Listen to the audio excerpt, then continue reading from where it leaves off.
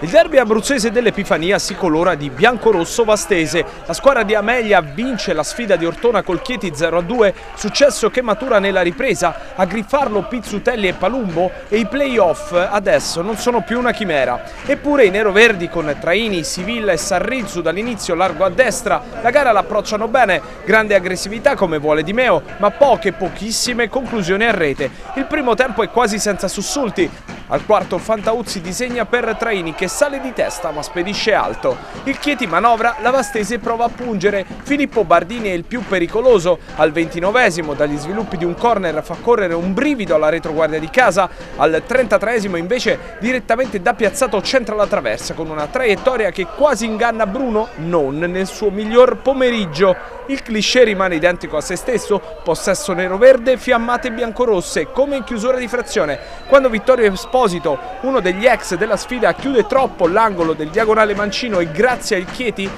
prima del duplice fischio.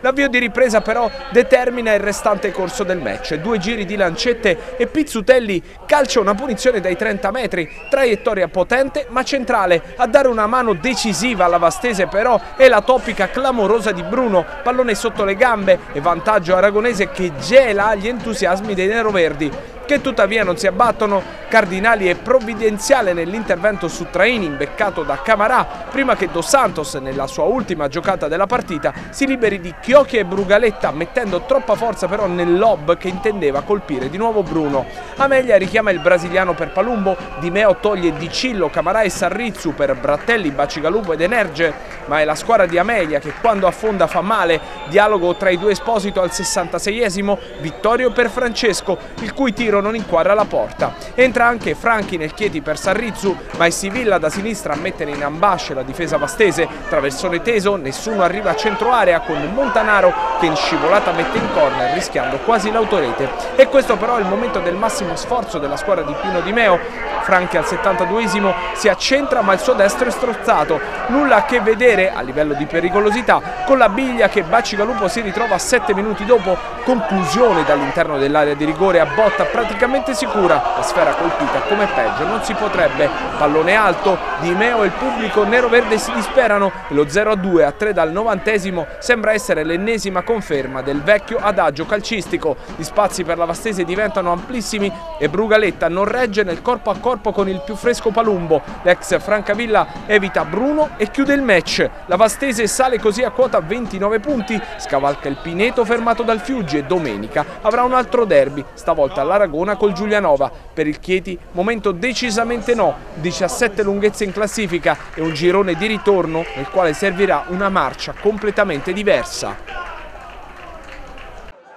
Una partita equilibratissima perché dal punto di vista del possesso, dal punto di vista del gioco penso che noi abbiamo giocato meglio di loro, però purtroppo l'episodio ci, ci ha, condannato a morte, purtroppo è così, adesso noi ci ha girato male, bisogna alzare la testa, andare avanti, siamo una squadra, non, non siamo una squadra scarsa, sicuramente non siamo scarsi, bisogna sistemare tutto perché manca ancora qualcosina dietro, perché il portiere purtroppo manca un'alternativa a lui perché non ce l'abbiamo, abbiamo 2002, lo sappiamo, il ragazzo ha fatto un grosso, fino adesso aveva parato, oggi ha fatto un grosso infortunio, grossissimo, ma no, più che altro è la mancanza di concentrazione che mi ha dato fastidio, perché non è il gol preso, è proprio la, la concentrazione su quella palla, bisogna stare cattivi anche su una palla innocua. Quando si fanno degli errori così gravi, uno li ho fatti io pure da calciatore, alzavo la testa e andavo avanti con grande dignità. Sappiamo che dobbiamo lottare, abbiamo le, le prerogative per far bene, secondo me la squadra ci sta adesso. Quante possibilità dai a Chieti di salvarsi?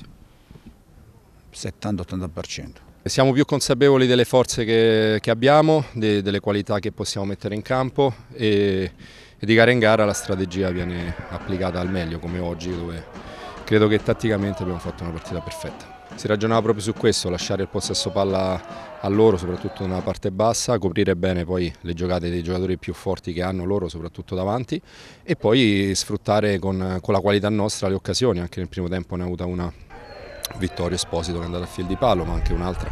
Potevamo sfruttare meglio il primo tempo, però devo dire, tatticamente partita perfetta, non abbiamo praticamente mai rischiato, abbiamo concesso qualche metro a loro, ma è quello che volevamo, l'abbiamo preparata così e l'abbiamo sfruttata al meglio, poi potevamo allargare anche con Dosso dopo e anche alla fine col 3-0, quindi io credo che la squadra ha fatto un'ottima gara, ha fatto tutto quello che gli ho chiesto, ogni interprete in campo ha fatto veramente il meglio che poteva, che poteva fare e credo che la vittoria sia stata anche giusta e meritata. Purtroppo abbiamo perso tanti punti nella prima parte di campionato e questo mi dispiace molto, però adesso cioè, da, da giocare di gara in gara l'obiettivo è quello di migliorarsi sempre e poter fare partite come questa, ma già l'avevamo fatta a Monte Giorgio dove siamo stati recuperati all'ultimo minuto e potevamo chiudere già la partita sul 2-0, però io credo che questa squadra deve prendere ancora più consapevolezza delle forze che ha perché ne ha tante e soprattutto può sfruttare al meglio ogni singolo giocatore importante che è in rosa.